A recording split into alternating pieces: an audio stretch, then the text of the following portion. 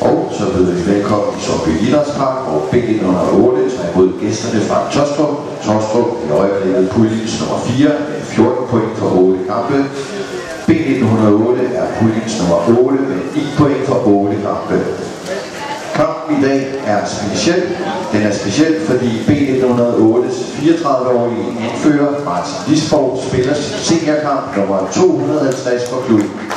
Han får den anledning overvagt foran her i har spillet i B108 siden første gang stillet op i hvide trøje i 2009.